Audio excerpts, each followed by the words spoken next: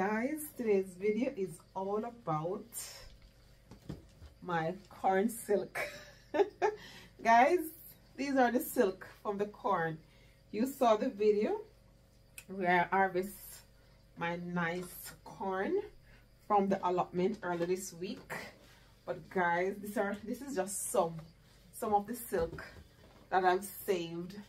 Guys the thing is most of us most of us are familiar with corn yes but most of us we take out the husk of the corn and we put it along with the silk into the bin right? I used to do that for years guys. So oh and the smell of the silk is so nice. It's a nice little oh it smells so good. Yeah so this is the silk guys. So i was oxing out the corn yesterday i was like I haven't done a video for you guys on corn silk as yet. So I need to do the video. So it's just like a nice little silk that you get from your corn. So while you're oxing out your corn, so you have the nice corn there. And it, it's like dolls, you know, when, when you're, well, for, for female viewers only, when we're tiny and we used to play with dolls and have the nice silky hair like that. So that's the corn silk. But the thing is, guys, as I said, I grew up in Jamaica.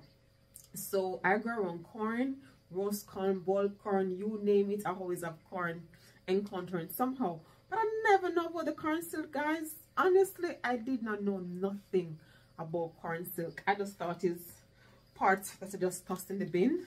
Use the corn and all those things. But no, guys, I'm here to enlighten you, oh, enlighten those who don't know or didn't know like myself I learned about the corn silk about four or five years ago.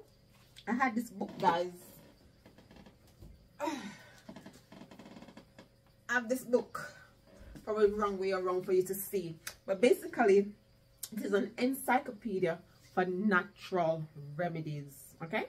So now I'm into my like natural remedies and eating what I grow and all those things. So this encyclopedia, so, so good. I'm going to put the name in the description for those who want to check it out because I think the camera is the other way around so probably cannot see it properly.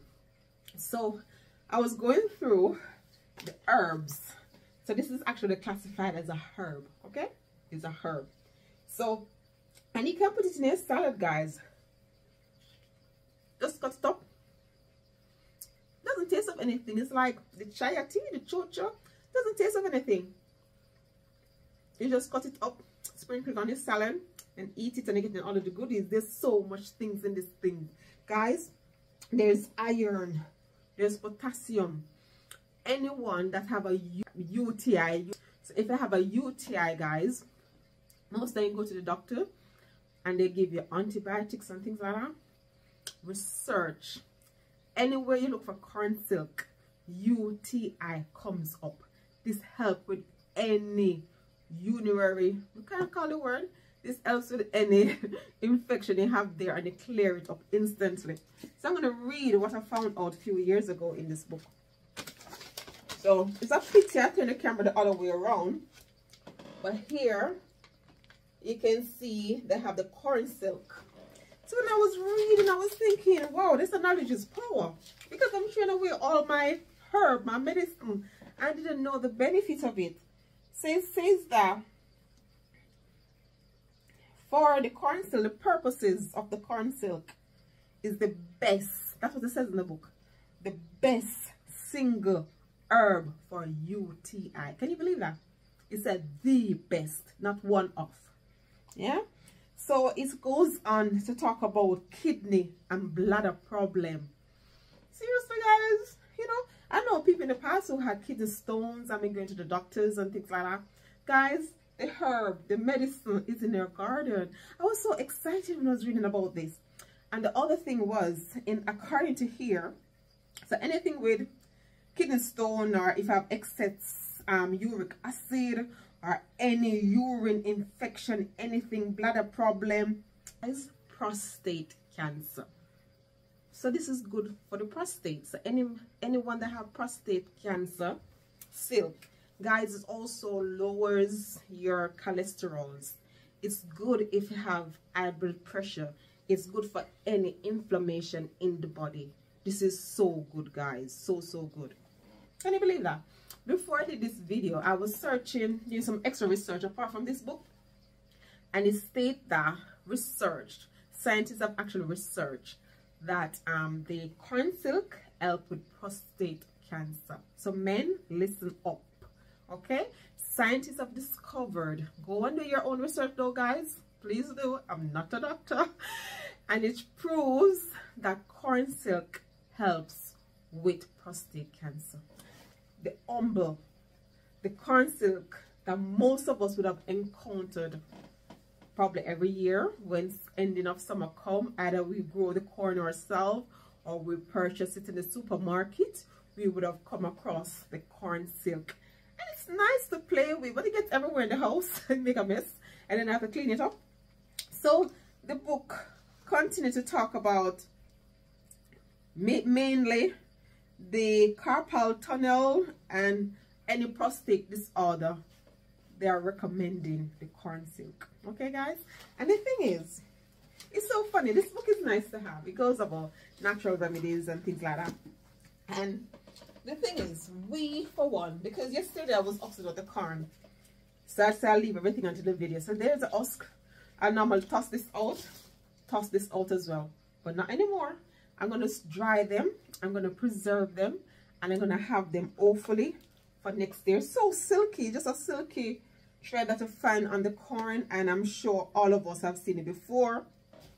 And guys you make a nice cup of tea. You can see the color change already. All you do you take a bit of the corn silk wash it. This is just pure water. I don't normally take sugar in my tea but like i have the stevia plant outside sometimes i put a couple leaves in there but there's nothing in there. But make sure.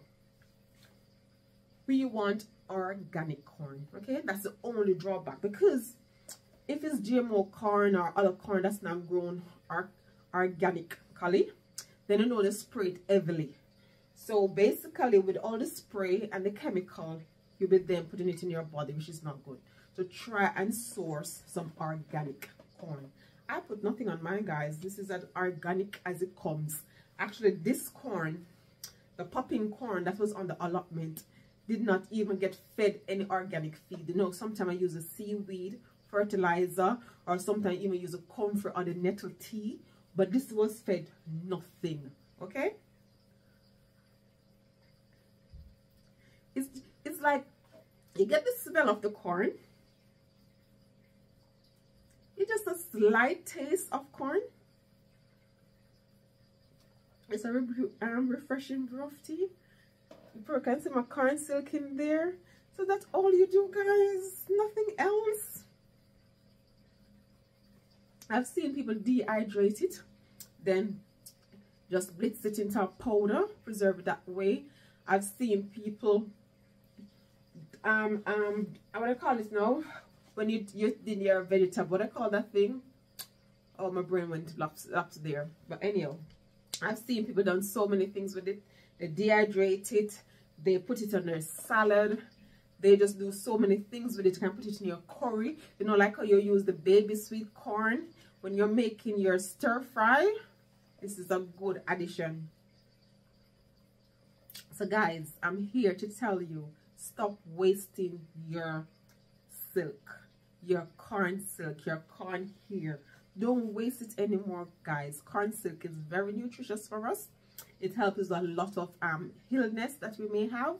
So do your own research guys and see how this beautiful what god nature have given us or we can incorporate it into our daily lives to help with ailments. So until next time guys from my corn silk to your garden take care now. Bye bye